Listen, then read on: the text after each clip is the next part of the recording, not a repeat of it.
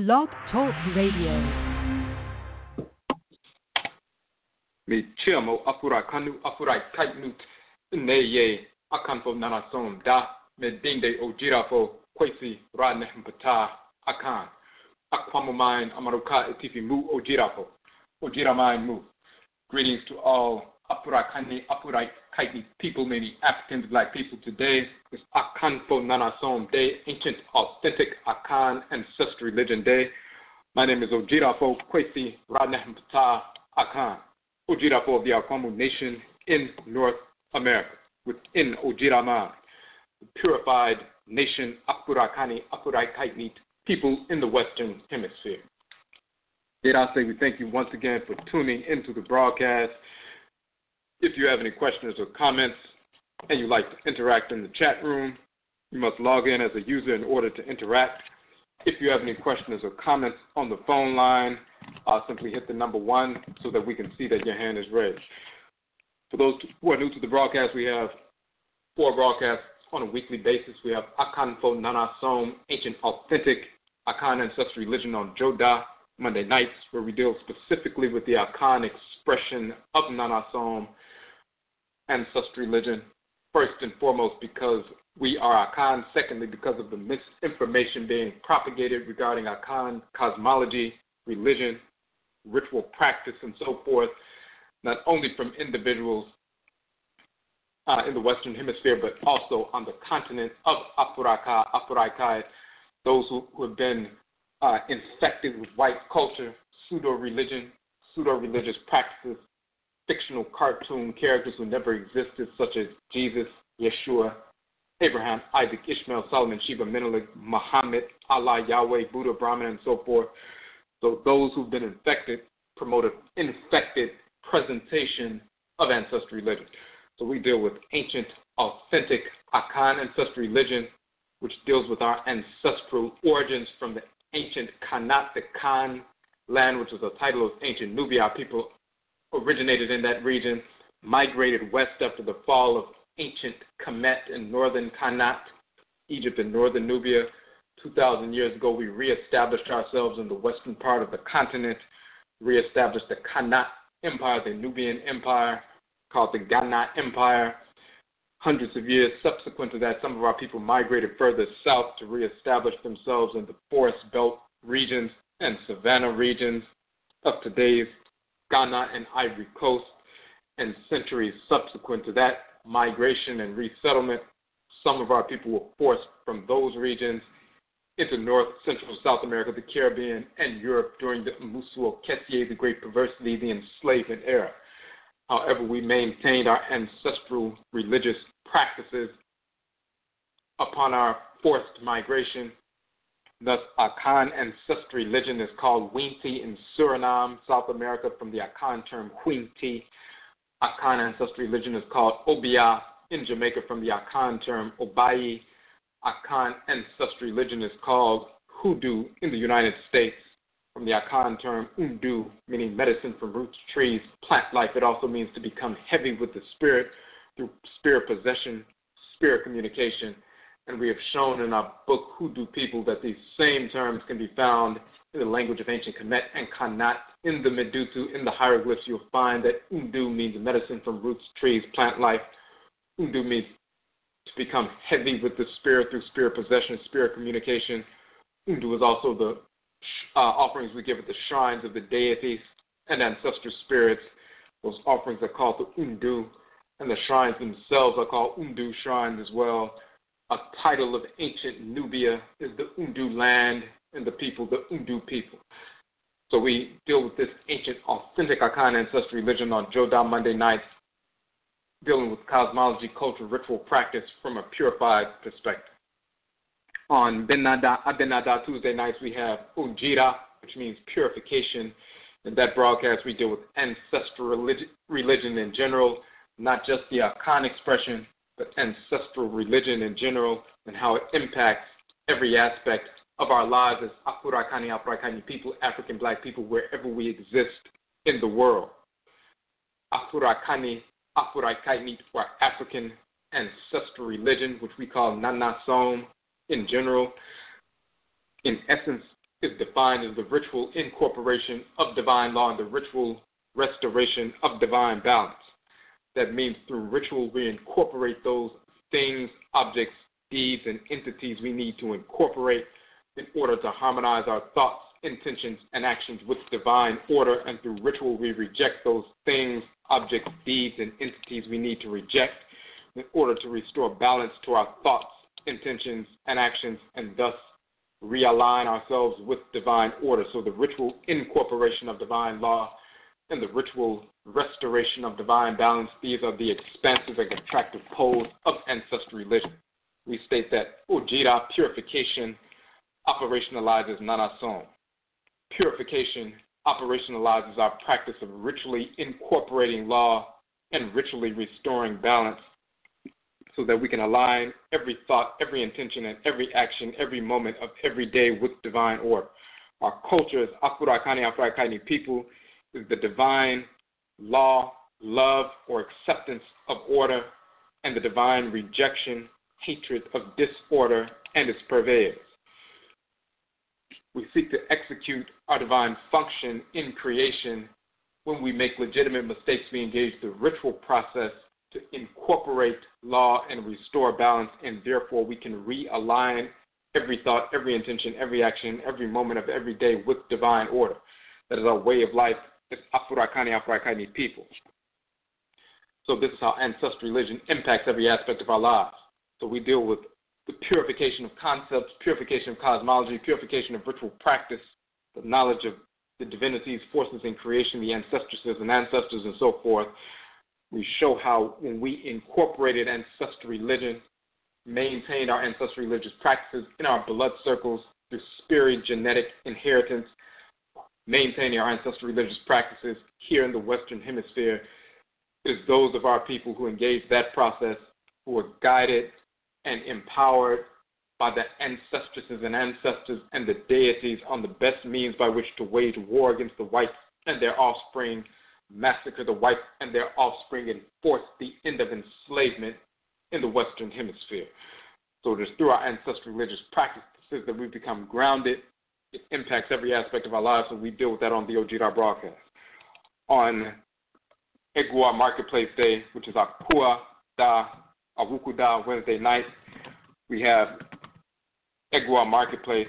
What we deal with is Afurakani Afurakani businesses, organizations and institutions, those who are serving the Afurakani Afurakani community in a positive capacity, those who are maintaining their religious values in the context of their service to the community. So we've showcased a number of businesses, organizations, and institutions. We also deal with the philosophical foundation of economic development rooted in our ancestral religious values and holistic approach to economic development for Afurakani, Afurakani people we have published our document, Okom Economic Development Model, which details that approach. And within that process, we have our Operation Starve the Beast and Feed the Pride. That means you make an assessment on a weekly basis to determine what funds you would have potentially wasted with the whites and their offspring. Then you starve the beast and feed the pride.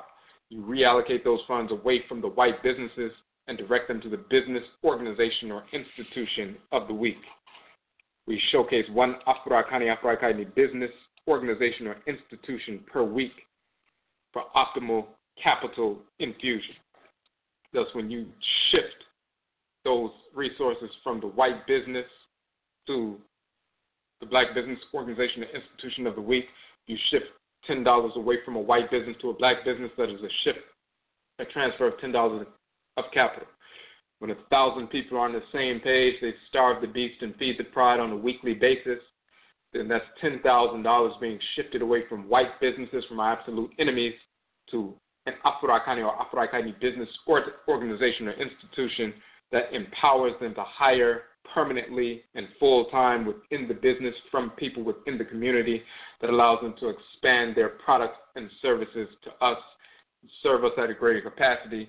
If we do not engage in this process, on a consistent basis, then by default we leave that ten thousand plus dollars and ultimately hundreds of billions of dollars in the hands of our absolute enemies, the whites and their offspring, and by default we are financing our own oppression. So what we need to understand is we must starve the beast and feed the pride. So, hold on one second. We just want to make sure uh, there's the notes that we're receiving. So, if you have any, uh, once again, if you have any questions or comments on the phone line, hit the number one. If you um, need to get into the chat room, you must log in as a user. If you don't have a username, you can log in, uh, or you can sign up for a username quickly in Blog Talk so that you can interact in the chat room. Our broadcast on Yada Thursday night is Amain Sim Affairs of the Nation. In the Amain Sim broadcast, we sh- we deal with Amaniye, nationism, the purification of nationalism. We deal with nation building from a purified perspective and ancestral religious values perspective. We deal with issues that are confronting our people and how we address those issues from a nationist perspective. And of course, we dealt with this um, um, in detail, of course, this past Awusida Sunday at our Ojidama and Afashe event, our conference, third annual conference. Of course, we want to say Yerase to everyone who came out to the conference. It was a great event. We had a great exchange of information. The presenters all did a great job, of course. Everybody received the information well. Um, we also had our vendors at our Egua marketplace did well as well, serving community, empowering the community, and so forth, and they themselves being empowered. So we appreciate everyone who came out. We were able to give away a free copy of our new book, Ojirama and Afashe, 13018, to everyone who attended the event, as we do at all of our events. Our events are free. Um, our presentations, our conferences, presentations around the country, these are free events. And then we also have, um, we give away a free copy of one of our books, specifically the book that we're presenting on. We give away a free copy of that to everyone who attends the free event. So that was a great event. Yet I'll say once again for everyone coming out to support that event. But on the Amain Sim broadcast, this is what we deal with. Uh, dealing with our issues from an Amaniye perspective, a nationist perspective. We have a proper understanding of what an Oman or a nation is. A, an Oman, a nation, in the true sense, is a living, breathing entity governed by specific forces in creation. We are cells within that organal structure, and just as the cells interface with one another harmoniously in, in the organ of which they are a component part, but they support the organ itself and its energy complex itself. We are cells within an organal structure, which is an Oman, a nation, a living, breathing entity that is governed by specific Abosom, Mauritius, Vodou, and so forth. We harmonize with the forces in creation that regulate and administrate the affairs of the Oman the entity of which we're component parts, and we interface with one another harmoniously. Although we were forced into the Western Hemisphere, at some point we were directed by our ancestresses and ancestors to coalesce in the specific region of the Earth Mother's body here in the West, blend ancestral blood circles, learn how to interface with the unique expression of the Abosom Marisha Vodou, the deities, the Umtoru, Umtorutu, as they manifest in this region of the Earth Mother, Earth Mother's body, interface with the Earth Mother divinities, Asase Afu and Asase Yaa in this region of their body, interface with plant life, animal life, mineral life, physically for food and medicine, as well as through the spirit totems of plant life, animal life, and mineral life as they manifest in this region of the Earth Mother's body. And therefore, that confluence of activity has allowed us to forge a locative identity, a unique expression of Afurakani Afurakani culture that is an ancestral religious practice that is unique to us. So we solve our problems in our unique fashion. We express ourselves in our own unique fashion. We're not dependent on anyone outside of our ancestral blood circles, spirit genetic blood circles, for our ancestral religious practice, initiations, nor our approach to nation. It is all taken care of within our clans as we have developed here in the Western Hemisphere. So that's what we deal with on the Amain Sim broadcast.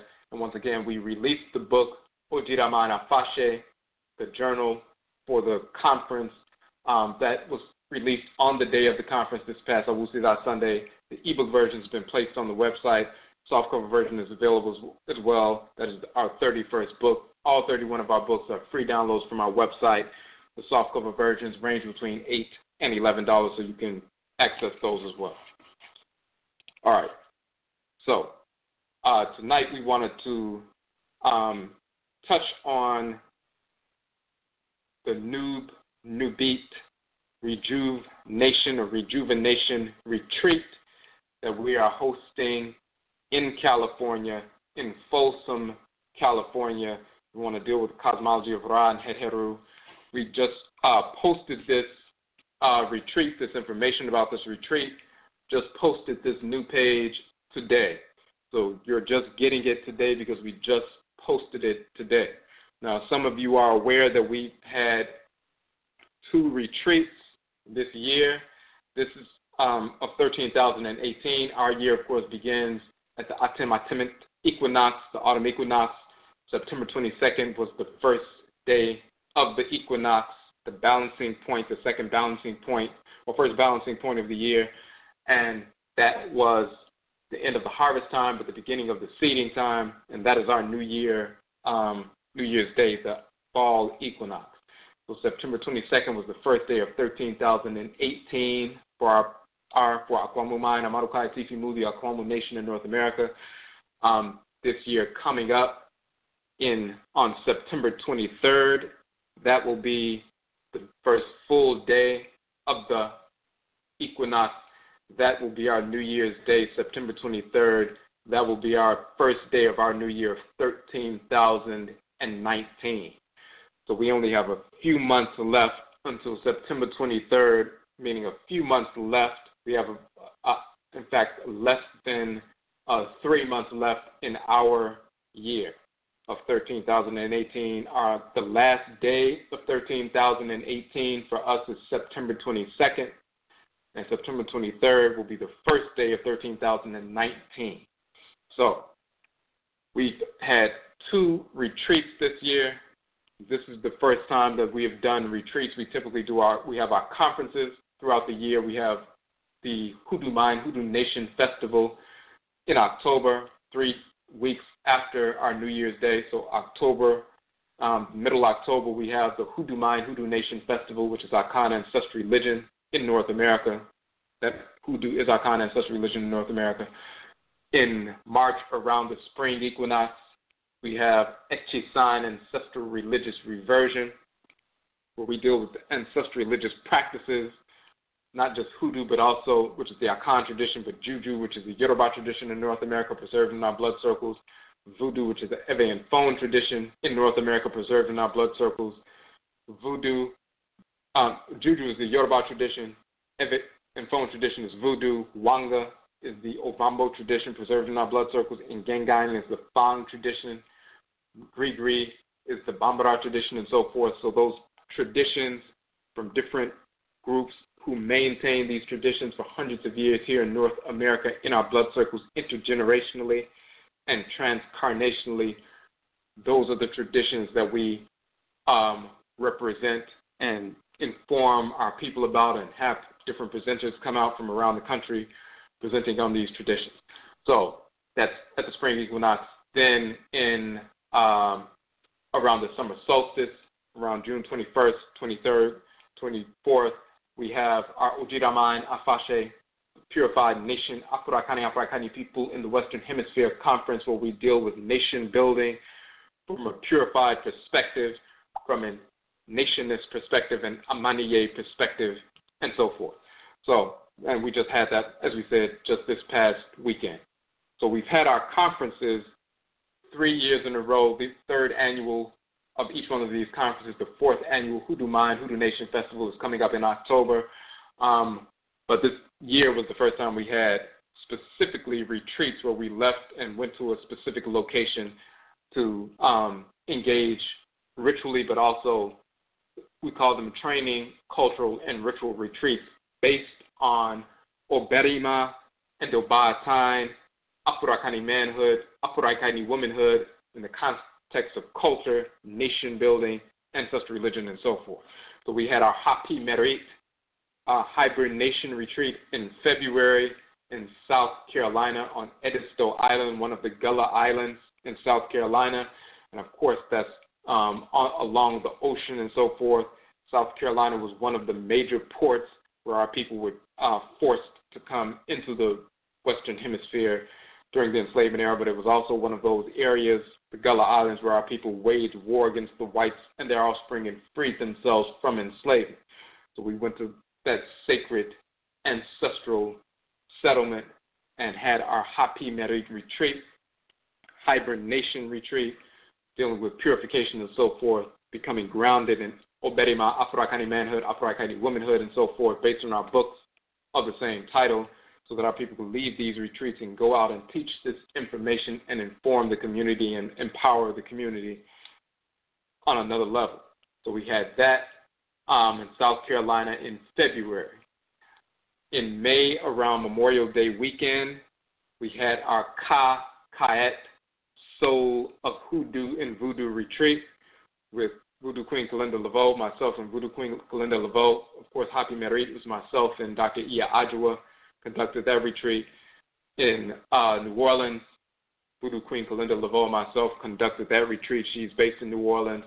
And we dealt with hoodoo and voodoo, but also Obarima and Obaatan, Afurakani manhood, Afurakani womanhood, strengthening um, those bonds, strengthening that understanding and foundation, because the strong foundation of Afurakani men and Afurakani women is the foundation of strong families and the rearing of strong children and the foundation of nation building from a purified perspective and ancestral religious values perspective. So that was a great retreat. We had that in, in May um, in New Orleans. That's New Orleans, of course, is a major port in the South where our people were forced into uh, enslavement, but also where we waged war and freed ourselves from enslavement and established independent sovereign settlements and so forth. So that was another sacred ancestral um, settlement that we went to, paid homage to our ancestors and ancestors, and built, you know, um, culturally and ritually and so forth, rebuilding ourselves, reestablishing our mind, our nation. And now we're going to the west, to the extreme west in the Western Hemisphere, which is California. And we just put this information out. This will be the final retreat of 13,018 for us. Yes, for some, you know that we are having a retreat in November, at the end of November into December in Jamaica. But of course, that is, for us, that goes right into our year 13,019. But our, our year 13,018 ends, as we said, in September, this September. So this is the last retreat um, of, of our year. The next one in the United States will be in February, the Happy Merit Retreat in February. So this one coming up is the last one. It will be in September. So when you go to the new page, and we, we'll put the link in the chat room for the new page, uh, just give me one second. All right. And just give me one more second to pull this information up.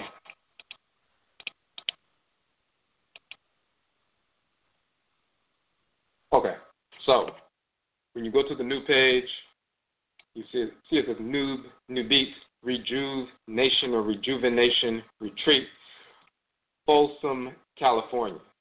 September 8th and 9th, that's Saturday and Sunday, that, that particular weekend.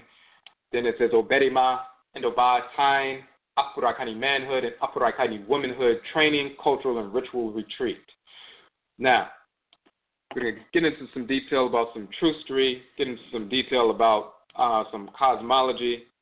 Uh, but first and foremost, why do we use this uh, terminology for Nub and Nubit? and why are we going to the west? So we state that in our ancestral language of ancient Kanit and Kemet, the terms Nub and Nubit are the masculine and feminine terms for gold. The radiant energy of the Aten Atenith, the sun, is the golden force which animates our physical and spirit bodies for vitality, healing, and rejuvenation. Nub Nubit is a metal. Gold is a metal which never corrodes. The solar energy animating our spirit bodies, transmitted and regulated by the Abosom, the divinities Ra and Het Heru, is the root of this purity. That divine living energy animating us is that golden energy, just like you have gold in the soil. That gold is, is preserved by the divinity Sikar, Sekar, and so forth. But that gold is inside the black soil and so forth in the same fashion, that divine living energy of and Raya that enters into our system when we take in a deep breath, and that fire energy within the breath, that life force energy, that solar energy that's moving within our bodies in the quote unquote underworld, in the flesh, in the darkness, that is the golden energy, the radiant energy moving within that uh, black substance within us. It's animating our spirit body, it's transmitted and regulated by Ra and Het Heru. It's the foundation of the purity, not only of the physical manifestation, which is gold, which never corrodes, but the spiritual root is the divine living energy of the Ba and the Ba is the spirit. As we approach the Atem Atemet or the autumn equinox, the end of the harvest cycle and the beginning of the seeding cycle, and the beginning of the seeding cycle, once again, is our new year, we engage in ritual purification. This includes the harvesting of the principal values of Afurakani African manhood and upright Kaitnit womanhood. We go through this cycle of seeding and then germinating and rooting and then sprouting and then the full flowering of the plant and the crops and so forth. And that takes place, you know, the summer solstice, the full flowering, and then you move into the harvest phase, moving towards the equinox, um, fall equinox, when you harvest the fruits of your labor and utilize that, you know, those fruits and crops and so forth for your energy, for your empowerment, and so forth, and sustenance for yourself and for the community. And that includes the work that you have been doing, the work that you have seeded, that is germinated and rooted, that is sprouted and fully flowered, and then you utilize the energy that you put into that work to properly and um, effectively benefit the community. So we go through that yearly cycle, just like the plant cycle, um, and this is what's taking place. So at the end of the harvest cycle, but at, at the same time is the beginning of the seeding cycle, it is a time for purification, ritual purification. And so we're coming to the end of a cycle and we're having this new, Nubit um, retreat, training, cultural, and ritual retreat. On one hand, because at the end of the cycle, it is a good time to take advantage of the shift in energy that's taking place on the planet. There's a shift, and especially people who are living in areas like Chicago and other places, Washington, D.C., or New York, or other places where the seasons shift markedly, going from the wintertime where it's freezing and snowing and so forth, summertime is very hot. So we can tell that shift in energy that's coming towards the balancing point, and we're moving from the warm cycle through the balancing point and moving into the cool cycle, which is the introverted cycle with the seeding and the germinating and the rooting and so forth. We're moving through that cycle. So we want to move into that cycle, that seeding cycle. We want to rejuvenate ourselves and purify ourselves. So we go through that process, take advantage of the shift in energy that's taking place on the planet, and utilize that to our best benefit. Just like we when it rains, we take that, that rain water and utilize it for our best benefit. When the sun is out, radiant and so forth, we take that sunlight utilize that energy for our best benefit. When there's a shift in energy because of the cycles of the planet, we utilize that shift for our best benefit. So, the terms Nub and nubit. And before we even before we get to that, we also want to say so. One, on one hand, it's the cycles that we're taking advantage of, the shift in energy, the tangible shift in energy, and we make uh, good use of that. But then we also, as we said, we had on the East Coast we're a major port of our people entering into the United States, South Carolina, the Gullah Islands, going to that ancestral region. Then in the south, New Orleans, near the Gulf, another port. Energy moving through that port, our ancestresses and ancestors' energy moving through that port still there in that space. We're going to that region to take advantage of that and harmonize with that energy. And now in the West, on the West Coast and our people on the West Coast and in that region and so forth, they'll be able to benefit from that as well. And we will benefit from that as well. And we're going to get into the true story of that. So The terms Nub and Nubit are also descriptive titles of Ra and Het Heru, respectively. You show an image of a falcon. The falcon animal totem is on the head of Het Heru, and her name literally means Het or house of head, the falcon. So you see the falcon on her head, and the falcon as the head animal totem of Ra.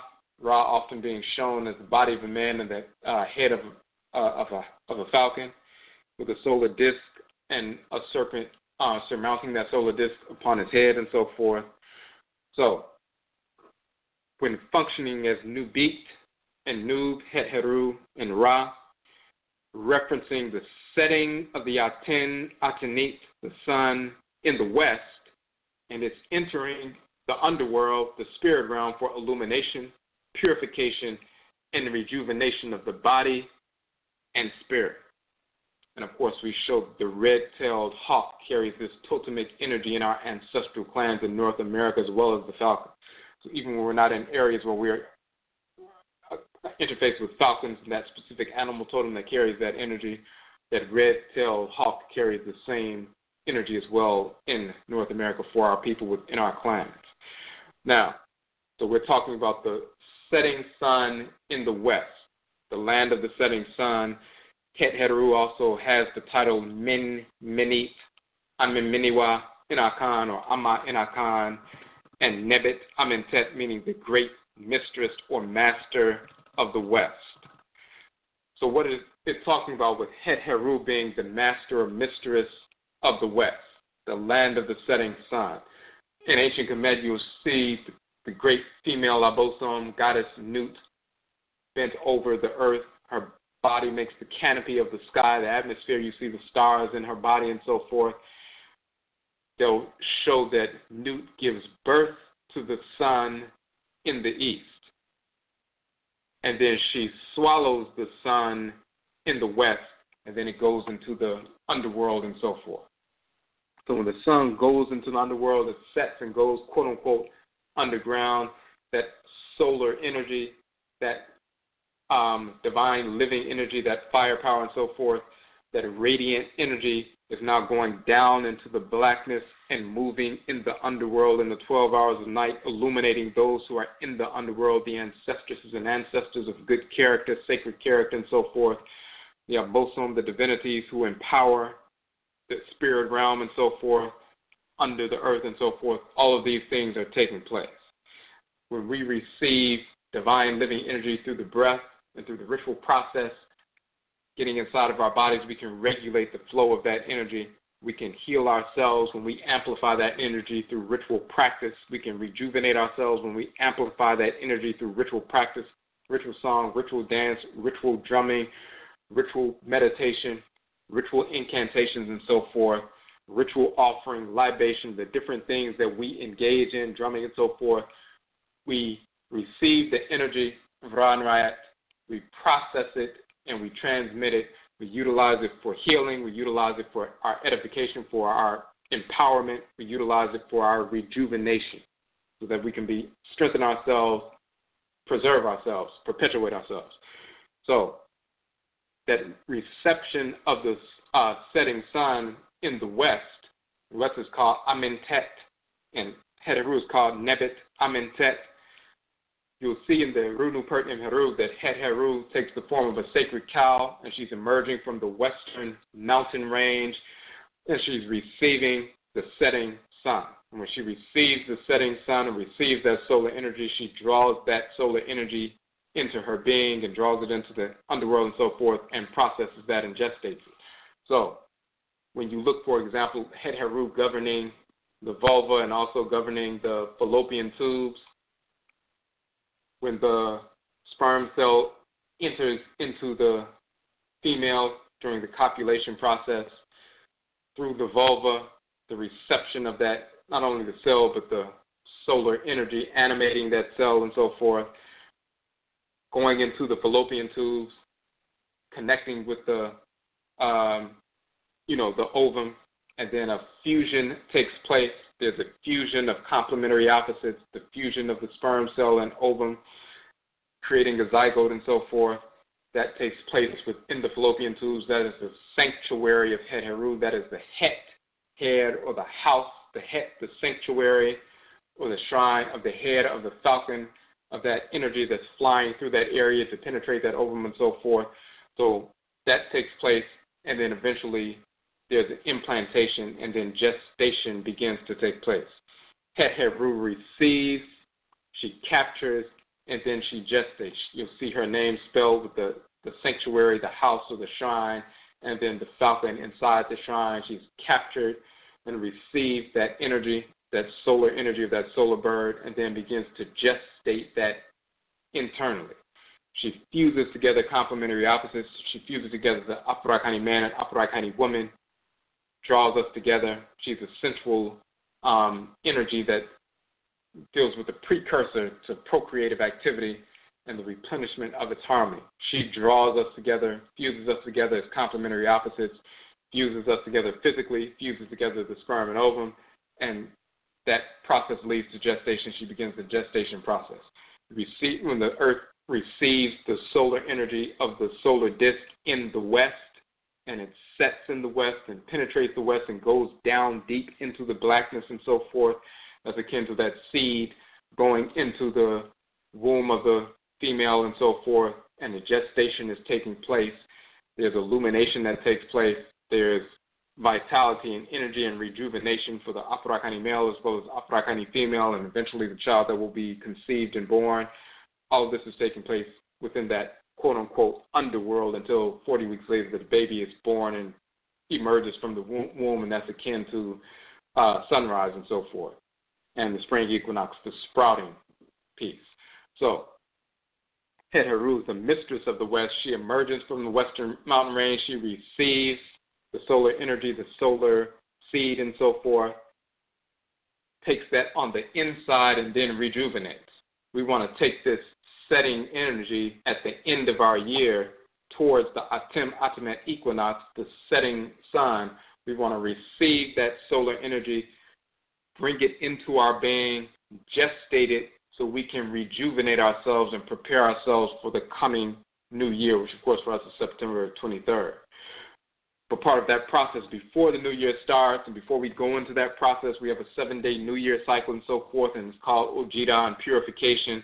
But before we get into that and move into the new cycle, we're going to end this warming cycle. We want to rejuvenate ourselves, empower ourselves, and utilize what we have worked on and what we've built and so forth to edify the community. We want to engage this ritual process, but also that training process in Afurakani manhood, Afurakani womanhood, incorporating these seven principal values of manhood and womanhood so we can establish strong foundation for Amani, Amaniye nationism, Amani ancestral nation building restoration. So that's that cosmological foundation. When we read the Runu Pert Imheru, uh, chapter 186, you see an image of Het Heru. She's in the form of the sacred cow emerging from the western mountain range. The text says, Het Heru, lady of the west or mistress of the west, Nebet Amentet, she of the west, lady of the sacred land, the eye of Ra, Arit Ra, or the eye of Ra which is on his forehead, kindly of countenance in the bark of eternity, a resting place for him who has done right within the boat of the blessed, who built the great bark for Ausar in order to cross the water of truth. She receives those who are setting in the west. The first, as we mentioned before, the first spirit that's placed in the valley of the deceased when someone makes their transition sun setting is akin to someone making their transition, going to the west, the land of the ancestresses and ancestors. When spirit separates from the body of the first divinity, you confront its Het Heru emerging from that um, western mountain range, the divinity of beauty, divine harmony manifest. That's what beauty is. So even though there is some tension, some melancholy, and so forth associated with transition, with death, separating from the earthly family, and so forth, and going to the ancestral realm, the first recalibration you receive is confronting the spirit, the deity, goddess, the Abosom, Orisha Vodou, the Ntorot of divine beauty. divine harmony manifests. When you look at divine order, it manifests as harmony. If you see something harmonious, according to divine order, that's a manifestation of divine order, and beauty is a revelation of that harmony. So Heru, as the divinity of beauty, pulling together complementary opposites in a harmonious fashion, she establishes order and reveals order through harmony. That's what beauty is. And she constantly replenishes that revelation of order through harmony. That's what pleasure is. So she pulls those things together. So even when we make transition, deceased, going through the ancestral realm, you confront the divinity of divine beauty. Her energy allows you to recalibrate yourself and get back in harmony with divine order, to manifest beauty and recognize the transition is a movement into another phase of existence with the ancestral community. So she's the first one that you receive or you come in contact with, and that is a quote unquote blessing or mercy to us from Ra and Ra. But she's also called the Eye of Ra. The term Eye is Ari or Ani, N H Kemet, Ani or Ini in Akan. Of course, it's the eye, you know, the window to the Ka, Kaet, the soul, and so forth. But Ari also means to make, to do, to to uh, work, and so forth. It means to watch and to see, but it also means to make, to do, to work. She's the one that works the energy of Ra as well as Ra'at for ingesting, for gestation, to make things happen. A person can conceive a child, but then they have to gestate so the child can grow and develop and unfold and so forth. We receive energy, but it must be gestated and must be gestated harmoniously so it can grow and develop and we can utilize it for our best benefit. So when we receive information, receive direction, receive cultural information and all these different things that sound beautiful and sound deep and sound uh, whatever, it's all meaningless if you can't tangibly take what you receive and utilize it to empower and educate our people and defend our people so we can engage the nation building process. If it can't be applied to nation building, nation restoration, then it's useless. Then that pseudo beauty is not beauty at all. So she receives, but then she also gestates. And when she gestates that divine living energy, can be used to empower us, to heal us, and so forth. This happens in the quote unquote West. Now, California is the extreme west of the Western Hemisphere. One of the reasons we need to go to that region.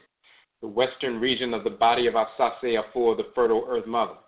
This is a region where numerous Afurakanu, Afurakainut Africans migrated in the effort to liberate themselves from enslavement. But there was slavery in California as well during the gold rush of 12,849 or so called 1849, some of our ancestresses and ancestors settled in the region and established gold mining settlements, discovering gold and building independent towns for themselves. One of these ancestral enclaves was the settlement known as quote unquote Negro Bar, which is located in Folsom, California. The nearby Negro Bar State Park is named after this original settlement. It is to this region that we make an ancestral return for our final retreat of our year of 13,018 for purification. It is a time for Odwiraman, the purified nation, to become the rejuvenation nation. So we're going through this during this retreat. We go from the purified nation to the rejuvenation, the nation that rejuvenates itself so that when we come back out of this training, culture, and ritual period, we take the information that we have rejuvenated ourselves with and empower our community, empower entrepreneurship, empower development, empower training institutions, educational institutions, ritual institutions, cultural institutions, and so forth, wherever we are, wherever locale we come from. This is why we say our training retreat is for those who will become facilitators of Obarima and Obaatan. Trainings in their communities grounded in ancestral religious practice. Obarima, Afurakani manhood, and Obaatan, Afurakani womanhood trainings are designed to be conducted in seven one-hour sessions for seven weeks based upon the seven chapters of each book. These books and trainings are a philosophical basis for rites of passage for youth and adults. The restoration of Afurakani manhood and Afurakani womanhood rooted in our ancestral religious values is key to the restoration of Odwiraman and the purified nation Afurakani Afurakani people in the Western Hemisphere. This is a funda- foundational and fundamental element of Amaniye Afurakani Afurakani or African Black nationalism, the purification of nationalism. For grounded Afurakani Afurakani men and women form strong marriages, raise strong children, and build strong families. The cornerstone of the Afurakani Afurakani African Oman, the African nation. All Afurakani Afurakani people must be grounded in these principles. So that is the purpose of what we're doing. So when we get to the retreat, of course, we're we have it laid out here on the website. We'll have the um, joint session of Patat Sasatim, which is a three-hour training. It's an educational curriculum grounding our people in our culture. Um, and then we have the breakout sessions, Afurakani Manhood, which I will be conducting with the brothers um, Ama Asase Ajay. She will be conducting the Obaatan Afurakani Womanhood uh, training with the sisters based on the book and so forth. So this is what we'll be getting into. We want to get into some more, however, trustory with regard to this region and this establishment of this what has become an ancestral enclave, a place of ancestral return for our people in California. Many people are unaware of the history or the true story of enslavement in California. So we can, if you begin to study that and look that information up, you'll find a number of different places um, online where they go into some detail with regard to this notion of enslavement in California. Some people assume that California has always been liberal. It's not liberal now. It hasn't never been liberal for our people. They believe it's some kind of uh, oasis of some nonsense, and there's not much racism. Of course, our people understand better. But when you go back to some of these, uh, you know, situations and conditions that our people found ourselves in when we were forced to migrate there. Some of our people migrated willingly, some of our people were forced to migrate. Then you can see the trajectory of how things um, manifest as they are today. The same police brutality and everything that's taking place in California now. You can look back to the enslavement period and you'll find it has a root there. Now, just give me some basic information the defeat of Mexico in 1847, California and other Mexican territories were ceded to U.S. rule. That's the Mexican cession under the terms of the Treaty of Guadalupe Hidalgo, which ended the war. At the time, the 26 state nation was divided equally between 13 free states and 13 so called slave states, with the addition of vast new agriculturally agriculturally uh, rich territories, including California, the debate over slavery intensified dramatically. So California was divided. Some wanted it to enter the Union as a quote unquote slave state, some wanted it to enter the Union as a free state. Although California entered the Union as a free state, the framers of the state constitution wrote into law the system systemic or systematic denial of suffrage and other civil rights to non white citizens. Some authorities went so far as to attempt to deny entry of all quote unquote African Americans free and quote unquote slave to California. They didn't want any black people in the entire state, free or enslaved. They were like, this is our new state.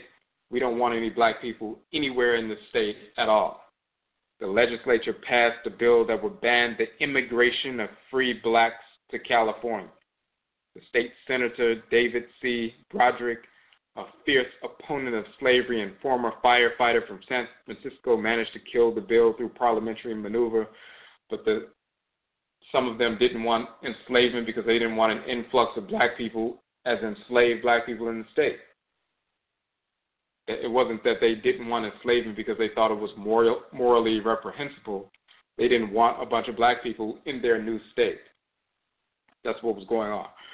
So, the slavery did persist in California even without legal authority. Some so called slave owners simply refused to notify their enslaved population of the prohibition against enslavement in the state. They continued to trade our people as slaves within the state. Numerous state trials ruled in the favor of emancipation once people found out and so forth. But once again, it, it must be clear, even though there was a split between some people wanted slavery in the state, some people didn't, it was because some people just didn't want to include black people in the state, period. Others wanted to put up with it because they wanted us to work, you know, the lands and so forth and generate a great deal of wealth for them. So they would put up with it if they, it would generate them wealth. But so, but they wanted then, you know, enslaved population. There were others who just would rather not go through with that and have to deal with that and just instead of enslaving the people, just keep them out totally. Either way, it was torturous for our people. What happened was gold was discovered. And because gold was discovered and it was a new territory, then people began to flock by the thousands to California to try to become wealthy. Thousands and thousands of people began to flock. Some of our people went in that direction. Some of our people who were already free, Afurakani, Afurakani people who had purchased their freedom or attained their freedom and so forth, further east. Some of them migrated out. Some of our people escaped from enslavement and went west and so forth to try to find out if they could get something going. Some of our people were drugged to California by their Mississippi and, and Alabama and other so called slave owners forced to work in the mines, but then once they got there, some of our people escaped and so forth and set up their independent territories as well. And then they have a list of some of these cases um, about people who were enslaved during the time. They passed fugitive slave laws in Sacramento and all these different things. So a lot this is going on. It's no different than what was going on around the country. Now, we want to get to this the place that we're talking about. The discovery of gold by James Marshall at Sutter's Mill in Coloma in January 1848 was at first meant to be a secret known only to a few. However, within six months, word of Marshall's discovery and subsequent gold discoveries in the Sierra foothills were leaked to the public, and a human rush of unimagined proportions was triggered to the gold fields of California. By the end of 1848, over 10,000 miners from California, Oregon, Hawaii, and Mexico had begun mining in the Sierra foothills. By the summer of 1849, over 40,000 migrants would make their way to California's gold fields by ship, wagon, horseback, or on foot. These quote unquote 49ers came from many parts of the United States and the rest of the world and made California one of the first uh, quote unquote multicultural locations in the world at the time simply because people trying to get rich. Our people, Afurakani, Afurakani people in America, quote unquote African Americans, were among the many immigrants coming to California at, at that time. One of the earliest recorded locations mined by African American, Afurakani, Afurakani people in America, gold miners, was on quote unquote Negro Bar, which they originally called Nigger Bar, but Negro Bar, a large sandbar located on the south bank of the lower American River in what is now the city of Folsom. The site received its name because of a small number of African Americans who were reputed to be the first to mine the area in late 1849 this is the place where we're going to have our retreat. Quote unquote Negro Bar. This is the region of Folsom, California. A February 9, 1850 newspaper article in the Sacramento Placer Times describes the diggings at Negro Bar as being located about four miles below Mormon Island on the American River. The article later goes on to say some colored gentlemen discovered them Gentlemen, just from these diggings, inform us that one to two ounces of gold to each man is the average per day. Most African American miners were to leave Negro Bar by 1852. They eventually moved to other nearby gold fields, such as quote unquote Negro Hill, Little Negro Hill, Negro Flat, and Massachusetts Flat, and they go into some more deep definitions there. If you look on our website, we have an image from that time period of some of our ancestresses and ancestors standing there at Negro Bar in the late quote unquote 1800s. This is the area we're going to.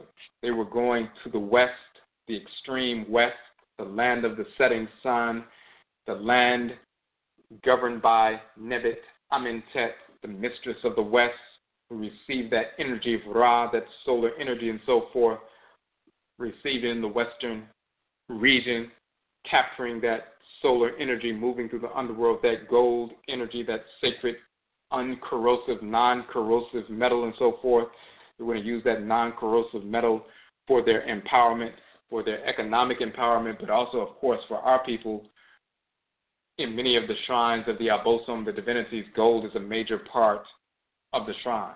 That non corrosive metal is a solar metal, it's connected to those solar divinities, and it's utilized ritual. This is why you see Afurakani, Afurakani people wearing gold, kings, queen mothers draped in gold, and so forth. In ancient Khanid and Kemet, Nubia's golden land, and so forth, the term Nubit is a title of northern Nubia and so forth.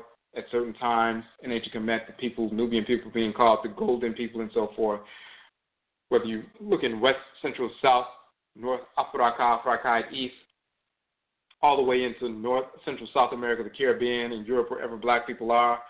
We're wearing a great deal of gold and still trying to access that gold and so forth. Part of it has to do with seeking something to do with wealth, but a great deal of it, that attraction we have to gold, is not just because it's shiny and we like the way it looks, but we've always utilized gold, that non corrosive metal. It is a means by which we communicate with the Nananom, Insamanfu, and the Abosom, our spiritually cultivated ancestresses and ancestors, and the deities. It's a ritual, no different than gems and other metals and colors and scents and so forth. It's a receptor and transmitter of divine living energy, specifically the energy of the Ba and the Bayat you're a spirit, the divine living energy, the child of Ra and Ra dwelling within you. We did a whole couple of broadcasts, a few broadcasts on the Ba and the Bayat, but it's a solar, fire, energetic um, force within you, that divine living energy within you, and that gold is a, a conductor a, and a transducer of that energy of the divine flame within you. We talked about the twin flame, the Ba, Ba T, and so forth in the previous broadcast. But the Ba and by the divine living energy shown as a bird, but a, bowling, a burning bowl of incense in front of the bird, that's the animate fire within you. The wings of the bird is the animation and the fire from the flame of the burning incense and so forth, representing that animate fire. That is that golden, fiery energy that gives you vitality, life, and it can be amplified for your healing, amplified through ritual practice for rejuvenation, amplified for your own spiritual empowerment, your own conscious empowerment to unlock knowledge of things in nature, nature creation within your consciousness and so forth. This is how we're able to attune to the forces in creation, attune to plant life, animal life, and mineral life.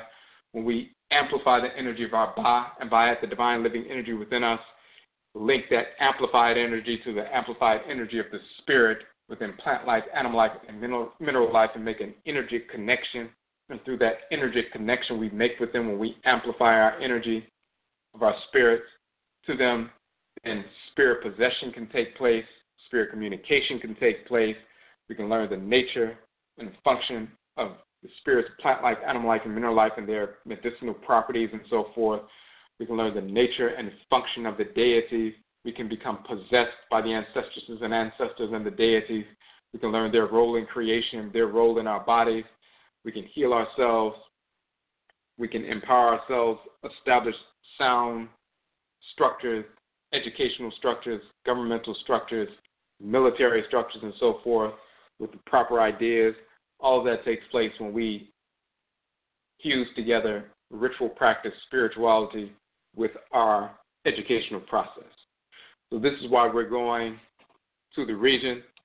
This is why we're going to the west, the land of the setting sun, to access that ancestral enclave, to pay, pay homage to our ancestresses and ancestors in that region of the Earth Mother's body, in that region of Asase and Asase the two Earth Mother divinities. We're going there for their rejuvenation piece and also to connect with our people in the West. We've connected with our people um, for that training piece um, on Edisto Island on the East Coast, connected with our people in the South, in the central South central part of the country. Now we get a chance to connect with our people who want to go through that training piece in the West, who may not have been able to travel all the way to South Carolina if they're in California. I haven't been able to travel to, you know, Louisiana and so forth, or they just weren't able to, didn't have the time to be able to connect in that fashion, but would like to go through that training piece on Obarima Afurakani manhood, Obaatan Afurakani womanhood, as well as Patasa Satem, as well as the ritual piece. We'll have ancestor ritual as well. So um, to connect with our people in the West so we can, you know, we have crossed the entire country. We've linked these different um, ancestral sacred areas where we engage that ancestral return, ancestral pilgrimages, and so forth to these sacred sites of our ancestral religion and culture. We have sacred sites where we have been living for hundreds of years. We don't have to get up and go somewhere else and say there are sacred sites over there. Wherever our people died and were buried and their blood entered into the soil, their bodies are in the womb of the earth mother and so forth, that makes that region of the earth mother's body especially sacred to us, to our clans, because our ancestresses and ancestors are in those re- in those areas, in those in that, that region of earth. So it's it's uh, sacred for us specifically, and because of the things that we accomplished in these areas. Um, there's just one more piece on the site, and if you have any questions on the phone line, you can hit the number one. If you have any questions um, uh, in the chat room, you must log in as a user in order to interact. We just want to go over uh, a couple more things on the new page, and we're, we're going to add some more information on the page, but we just posted the page today. So you see up under the uh, description and so forth, you'll see that um, so it also says vegan food, ritual, culture, vegan meals provided for breakfast and lunch on Meminidai and Awusida Saturday and Sunday. Participants will have the option of touring Negro Bar State Park, right in the area where our people first established that mining settlement and so forth, and learn about the true history of the migration and settlements of our ancestresses and ancestors. So the way we do our retreats, we have they're all day sessions. So we start off in the morning. We have breakfast like at 9 a.m. and so forth. Um, then we start our first session, the three-hour session, uh, the Patasa Tim session, and then we have, you know, the um, we have a break, break for lunch. Then we have the session, the breakout sessions for Obarima and Obaatan in the afternoon, and that's a couple hours as well. And then by late afternoon, then we're complete for that day as far as the training from like nine till about four or so, something like that. That's the entire day. After that, then people have free time because, of course, you are. It's a retreat and training, cultural and ritual retreat, and so forth. But it's also at the same time um, vacation for you, so you can explore the area. You have that option you don't you're not stuck in a group where you have to follow everybody to different places and so forth. Once the sessions are over, you have the freedom to do whatever you want to do for the rest of the evening and so forth. You can go out, you can go to Negro Bar State Park, or you can go to some other areas of interest and learn about the ancestral culture of those areas. And then the second day is very similar, but we will have ancestral ritual along the river and so forth, ritual offerings and so forth, communicating with our Nsamanfo Nananoman Samafo, and the Yabosom. Of course, we have breakfast, but then we'll have the ritual piece um, um, going to lunch, then having the session in the afternoon. And we we talk about that specific session um, on the website. We're going to get into some some more detail about that as time goes on.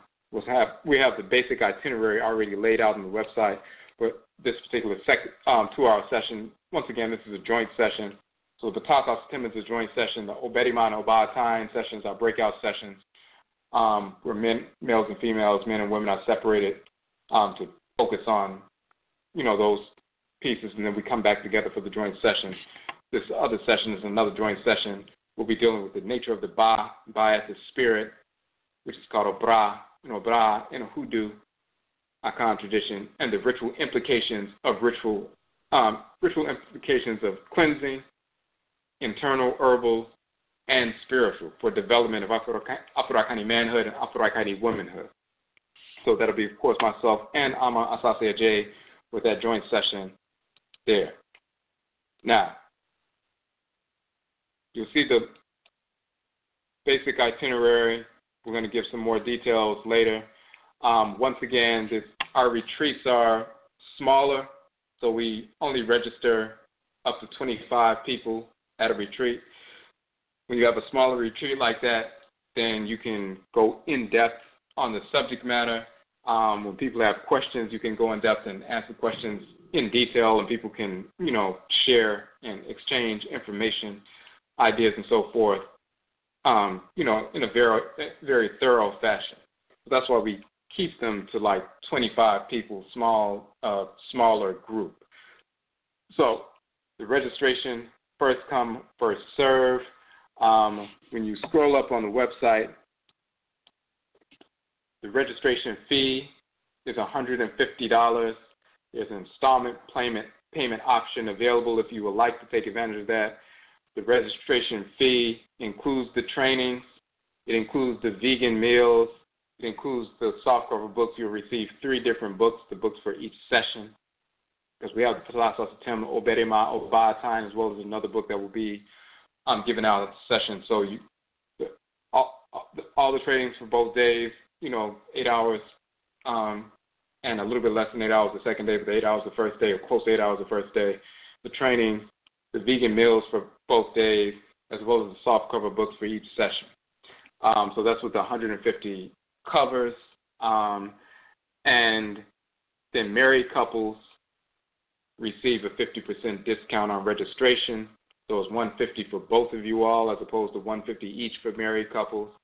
Of course, we promote, you know, marriage. This is the key. Is you know, we're dealing with Obarima, you know, time Afurakani manhood, Afurakani womanhood. So of course, the purpose of building strong men and women is for the purpose of strong marriages and strong families, and that's the foundation for a strong for a strong Oman nation. So married couples um, receive a 50% discount uh, attendees are responsible for your own lodging. What we're going to do is the same thing we did in South Carolina on Edisto Island. We'll have like the uh, a large beach house, which is private, which this that's where the um, sessions will take place. Um, but when we've looked in the Folsom area, Folsom, California, you can go on, um, you know, the basic websites, and you'll see that just a few miles away, like five miles away or four miles away or two miles away, you'll see there are a few hotels. There's a La Quinta, there's a Hampton Inns, there's those kind of hotels, and then they have their other hotels that are, you know, not the more popular ones. Some of them are less expensive, some of them are more. We've seen some for like sixty some dollars a night or something like that. Um, some people are when we we're going to put a group together, and we even have just even in the notification, um, in the notification piece um, that we're going to put up on Facebook, the event notification for the for the uh, piece. When you're posting in that group and people join the group or join the notification and so forth, you can put the information out just like we did in Edisto Island. The people who wanted to room with other people, who, just for those couple of days, so that you can split the cost of the lodging. So if the lodging was sixty or seventy dollars a night for a room, and you you split it, a couple of sisters got together um, and split it, then you're only paying thirty five dollars a night for a room. Um, there's some places that you know you could rent a, a condo or you know like an Airbnb kind of thing or a vacation rental by owner kind of thing, and you can uh, sometimes you know four people sleeping to a room or or, or renting out a, a beach house or a house along the river or just a house not too far, a couple of miles away. You know, four we did that in Edisto Island. People, four or five people renting a house together, and that way the you know the cost for each person may have been thirty dollars a night instead of fifty dollars a night or seventy dollars a night individually. So it, it can be very economical if you want to do that. You don't have to do that, but that is an option. When you get into the group, when we post the event notification, just throw your name out there and say, I'm one of the people who's willing to um, share, and then other people will chime in. You exchange information, and boom, you'll have it. So that greatly cuts on the price. So, as we said, registration is first come, first serve. We can't hold spaces for people. Um, and we've talked about that before. Sometimes people will say, "Hey, I'm coming. Just you know, hold the space for me," and then other people are turned away because there are no spaces left, and then the people who said they were coming end up ended up not coming, and they just wanted a whole a space held for them without making a deposit, and then you know people miss out. So only people who make a deposit, the space will be held. You can make the entire deposit 150 so you can get your deposit out of the way we also have the option of a 50% um, deposit, so you can make a deposit of 75, and then you know a few weeks later you can pay the other 75. So that's on the website. When you go to the website, you'll see the different options. Um, hold on one second. Okay, you'll see the different options on the website. We just posted so you can do that. We're going to put the event notification. We'll also create a group specifically for the event. We'll be posting new information in there. We're going to be posting uh, information with regard to, you know, the not only the accommodations but also, you know, the uh, cultural information in Folsom. Most people know about Folsom, California, if you heard of it because of the prison in Folsom, but most people don't know about quote unquote unless they're from the area, Negro Bar, where our people, black people, went there, established uh, mining settlement, and began mining gold and connecting with the divinities of earth that govern gold, like Sekar, Sakar, Sakara. He governs, he's a divine goldsmith and so forth. He regulates that flow of golden or solar energy in the underworld. Of course, Heru, as we said, gestates that energy so Ka regulates its flow throughout the 12 hours of the night, quote unquote, and that flow throughout our bodies and so forth. Um, Ra and Ra'ed provide that solar energy, that divine living energy that animates us. So our people connecting with the Earth Mother divinities, connecting with the divinities that govern that goal for their own empowerment, for, for their own healing. Utilize that metal on our bodies for healing purposes, also for other ritual purposes, for communication with the ancestors and ancestors and the Abosom and other Afurakani Afurakani people. So there are a number of different ritual uses. We're going to get into all of that from medicine as well. Gold is medicinal as well. So we're going to get into all of that kind of information. That'll be part of the presentation on the second day when we're talking about herbal internal medicine and, and ritual and cleansing and so forth. Um, and we'll be out there at the river where our people were actually standing, where they were mining that gold and so forth. So all that will be taking place. So we're going to set up a group. You'll get that detailed information there. But the, the website is set up. We just completed the website, the web page for that. You can go right now. You can make your deposit, whether it's the 50% or 100% deposit is up to you. Um, and you can, we'll post that information. We just created a page on Facebook, meaning a, a Facebook quote unquote business page or community page for the retreat. Um, please go to that page and click the invite friends um, function. Invite your friends from your friends list on the page. The way they have it now is different. It used to be where you, if you wanted to invite somebody, you had to click each name, invite for each name. If you had thousands of people, you have to click thousands of times to invite people, which was foolish. Now what they have is you can just click the button that says select all, and it will select your entire list and then you just hit one button and it selects everybody at the same time. Sometimes you have to go back because it'll, it'll say select all, but it'll select half of your people. Then you go back click collect um, click select all again, and it'll select you know the other half. But that way we can get people um, aware of the information. Some of the people who were not able to make it to South Carolina, they weren't able to make it to um, New Orleans. They're not able to make it to Jamaica in November, but they still want to connect. They still want to, you know, connect, or they may live in the area, live in California or nearby, in you know Nevada or other places not too far. We want to drive up or fly out and so forth. So if you weren't able to make it, this is the final piece. This is the final retreat of our year of 13,018. We have 25 spaces because it's um, some of the people in the area. Some people will just drive up; they won't have to fly out, so it'll be less expensive for them and so forth. And some people from the West, since we've never presented in California, we've presented, you know, in different places all across the country, but California is actually one place that we've not yet presented. This will be the first time we're visiting, but of course, we will be visiting later with our film and in a number of places in California, Oakland, San Francisco, Los Angeles, San Diego, different places. But this will be the first time that we connect in that fashion. So some people have been asking for us to come out. So we anticipate that, you know, the spaces will be taken up quickly, especially for the people who are out there in the West, because we haven't been to the West yet. This is the first time. So if you would like to attend, go to the site as soon as possible. They are first come, first serve.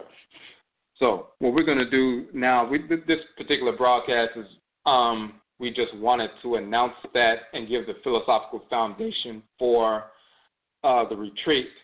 And myself and Ama Asase Ajay, who has spoken at all three of our Hoodoo Mind, Hoodoo Nation festivals in October. She has her site, hoodoowomb.com. She has her business, Asase Heals. Ama procures medicine from plant life and mineral life, communicating with the spirits, plant life and mineral life, and so forth, crafting, you know, these medicinal tinctures and salves and so forth. This is ancestrally inherited ritual practice and so forth for the healing of our people. Um, she's talked about that. She has her body butters and her soaps and her um, the system Happy Cat, which is a cleansing system for you know, feminine cleansing and so forth, which is a very powerful product. Um, a number of different things. When you go to hoodoowomb.com, Ama has been on our broadcast before, so we are happy. And she's one of the Odwiraman um, Ma Tainfo, which is the group of sisters, women in Odwiraman, the purified nation. Of course, Obaatan means woman. Ma Tainfo is women in the plural. Um, she's one of the Odwiraman Ma Tainfo, one of the 14 sisters who uh, contributed to the development of the Obaatan Afurakani Womanhood book. Well, I scribed the book. It was through the uh, information and influence and um, direction of the 14 different sisters who made this book happen. So she's one of those sisters. So we look forward to connecting once again. She was at the retreat in South Carolina at Edisto Island. Um, so we look forward to uh, connecting once again and empowering the community. So if you have any questions, just uh, hit us up on Facebook or on the new page. Like the new page on Facebook. Join the event notification, which we're about to post. Uh, go and make your reservation. If you have any questions, send us an email. So we just wanted to announce that tonight. So yet I say we thank you for tuning into the broadcast. And Yebesha Bill, we will meet again. What's up?